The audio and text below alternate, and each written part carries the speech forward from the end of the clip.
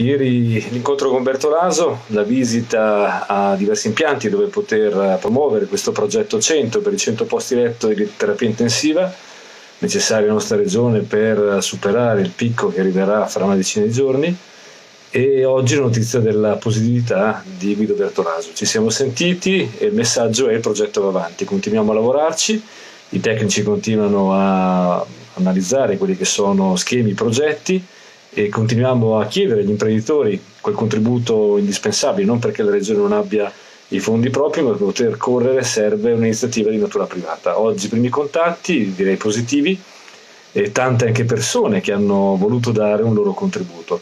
Io sono a casa mia in quarantena, ma questo non mi impedisce di lavorare, anzi continuerò da qui il grande impegno che tutti si aspettano e che è necessario per un momento come questo. Quindi grandi iniziative, iniziative quotidiane, attenzione nei confronti di quello che accade attorno a noi, il lavoro a favore di chi ha più bisogno, l'impegno di ognuno nel limitare il contagio. Anche la quarantena è uno strumento per fare questo.